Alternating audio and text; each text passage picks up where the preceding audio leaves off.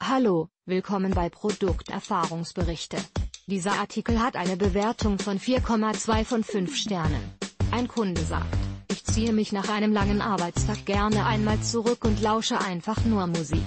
Da wir sehr viele CDs haben aber die Anlage im unteren Stockwerk ist, ist ein weiteres Abspielgerät in handlicher Größe perfekt.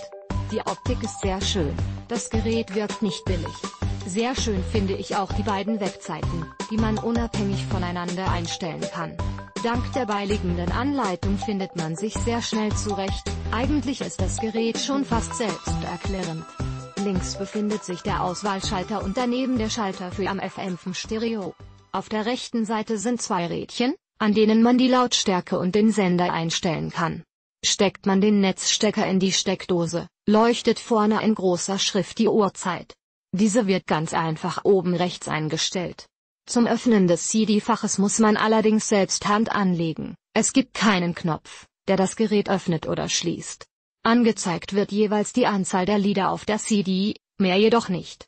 Man kann aber die CD im Random- oder Repeat-Modus abspielen lassen. Der Dreharmee verfügt über eine Schlummerfunktion, deren Zeit man einstellen kann. Man kann auswählen, ob man per CD, Radio oder per Piepton geweckt werden möchte. Die Aktivierung wird per LED-Punkt angezeigt. Auch in der Nacht ist die Uhrzeit sehr gut zu lesen, die Ziffern blenden nicht und der Wecker leistet pünktlich seine Arbeit. Alle Tasten lassen sich leicht bedienen, bisher hat sich nichts verhakt. Lediglich der Klang ist jetzt nicht mit einer hochwertigen Anlage zu vergleichen, aber für meine Zwecke und als Weckfunktion absolut super, im Anbetracht des Preises. Danke für das Anschauen unseres Videos. Bitte hinterlassen Sie eine positive Bewertung.